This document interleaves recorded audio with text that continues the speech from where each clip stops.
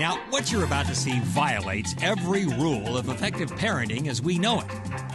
But you have to cut this female sea urchin some slack. I mean, she produces 500 million eggs in her lifetime.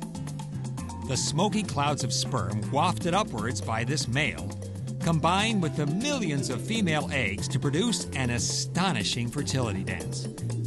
The two nebulae of the life force scudding together to fuse into new larvae. Now, here's the bad parenting part. Not only do mom and dad never see the kids, they don't even know which sperm and which egg happen to do the happy dance. The sea urchins simply trust the sea to work its magic.